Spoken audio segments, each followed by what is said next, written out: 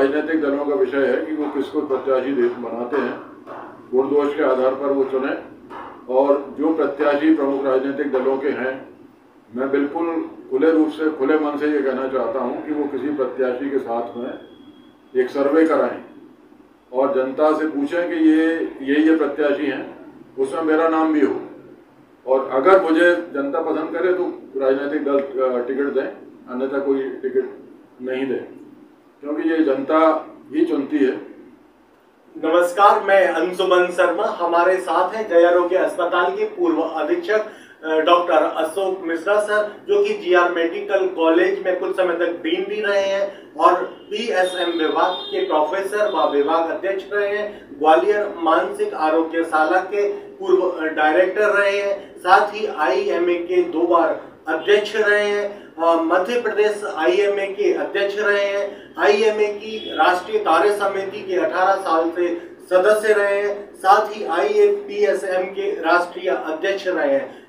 ये सेवानिवृत्त होने के बाद दूसरी पारी राजनीति में सक्रिय रूप से उतरना चाहते हैं और 2023 में ग्वालियर विधानसभा से चुनाव लड़ना चाहते हैं। किसी राजनीतिक दल से जुड़कर राजनीति भविष्य में हो सकता है करूँ मैं? कई लोगों से संपर्क में हूँ। प्रमुख राजनीतिक दलों के प्रमुख लोगों से मेरा लगातार संपर्क है। व्यक्तिगत तौर पर संपर्क है। राजनीतिक संपर्क नहीं है ये। मैत्रीपूर्ण संबंध है मेरे सभी जगह। और ये कई बार ये बात आई है कि आप ग्वालियर में पैदा हुए हैं, ग्वालियर में पूरी शिक्षा है, ग्वालियर में आपके हर गली मोहल्ले कॉलोनी में संपर्क हैं। तो आप चुनाव क्यों नहीं लड़ते? ये तो तय हो गया कि आप चुनाव लड़ना चाहते हैं। पर ये पता है किस पार्टी से किस विचारधारा से जुड़े हैं आप? देखिए अभी मैं किसी राजनीतिक दल का कोई मेंबर नहीं हूँ। मेरी विचारधारा राष्ट्रीय विचारधारा है। मैं राष्ट्रवादी हिंदुत्व में भरोसा करता हूँ। लेकिन ये भी निश्चित रूप से मैं बहुत खुले मन से बोल रहा हूँ।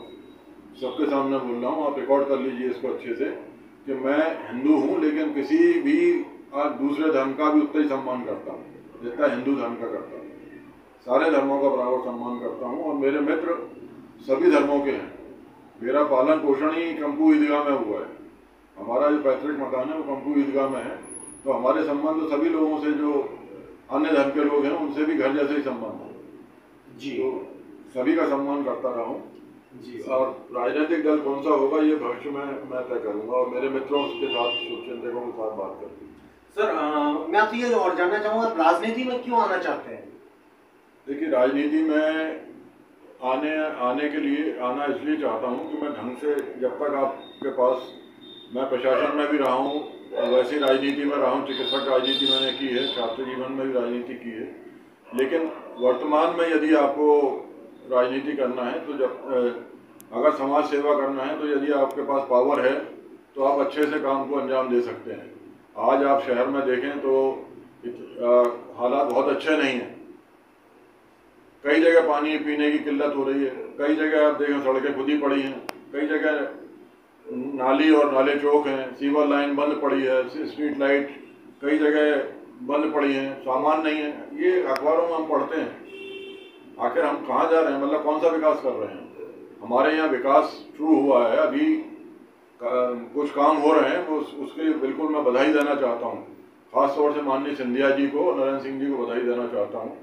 हमारे सांसद जी भी सक्रिय हैं लेकिन अभी तक पानी पीने की एक पुख्ता व्यवस्था तिगरा के अलावा कोई नहीं हो पाई है जो कि एक बहुत बड़ी समस्या है जो इतने सालों में हो जानी चाहिए थी। हमारे आसपास के लोग भी पानी पीने के लिए परेशान है मैं देखता हूँ। कई बार मेरे पास आते हैं मैं समस्या का समाधान कराता हूँ लेकिन परेशानियाँ तो हैं। और जब तक आपके पास पावर नहीं है, तब तक आप सेवा भी ढंग से नहीं कर पाते।